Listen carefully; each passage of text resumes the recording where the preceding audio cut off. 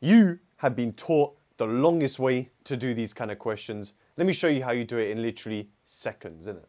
So write y equals 3 sine x plus root 3 cos x in this form. Now, with all these R transformation stuff, all you do is you check that the first trig or trig function matches the R transformed. Now, to find R is super simple. R is the Pythagoras of the coefficients rooted. Well, that's Pythagoras, isn't it? So that'll be 9 plus 3, which is 12, root of 12, uh, 2 root 3. Now here's the best bit. How do you find alpha? You do inverse tan of the second number, root 3, divided by the first number, 3. Okay? Which is pi over 6 or 30 degrees, depending on what the angle is. They'll tell you that in the exam. So there's your answer.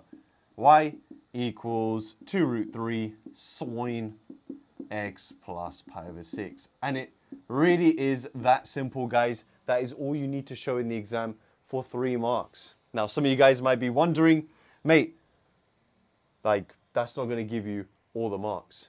Let me show you guys what you've probably been taught. You have been taught to do the addition rule on this, right? You'll say this equals, so remember for sine, it goes sine cos, sine cos, right? With the coefficient of r, we have r sine x cos alpha. Then sine keeps the sine the same, r and then we swap the angles. And then you've been taught to compare the coefficients. You said, look, here's sine x, here's sine x, so it must mean 3 equals r cos x, r cos alpha, sorry. And then here you have cos alpha, cos alpha, so r sine alpha is root 3. Then you've been taught to divide tan alpha is root 3 over 3. And there you get the same thing. Alpha is your pi over 6.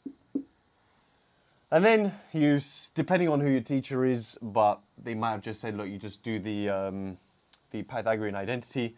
You square these two, r squared sine squared alpha plus r squared cos squared alpha is, um, well, you could write like this first. That gives you r squared sine squared plus cos squared See, I'm yawning inside, by the way, showing you guys this. That just leaves you r squared.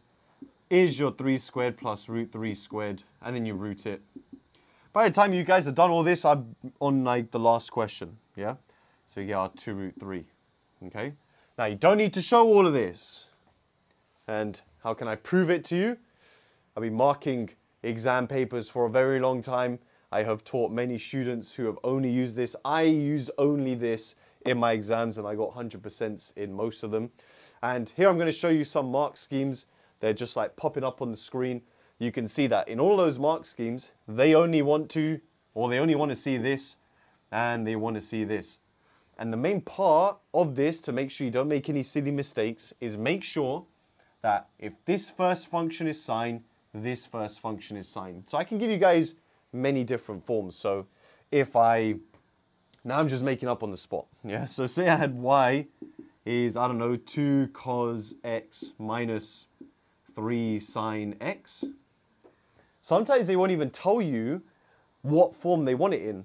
They might ask you to solve this equals 0 and you have to do the R transformation yourself. Which one are you going to choose? You're going to choose R. The first function is cos. The angle is x. But cos changes the sign, so become plus alpha.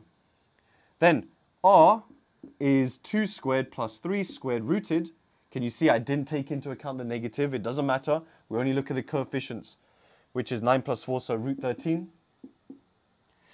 And then alpha, this would give you some decimal. Actually, I can say equals for now, is inverse tan of the second number 3 over 2, which uh, I don't even have my calculator. Anyway, it doesn't really matter. So you just type that in, whatever that is to 3SF, you can uh, you can type that in. So yeah, guys, that is basically it.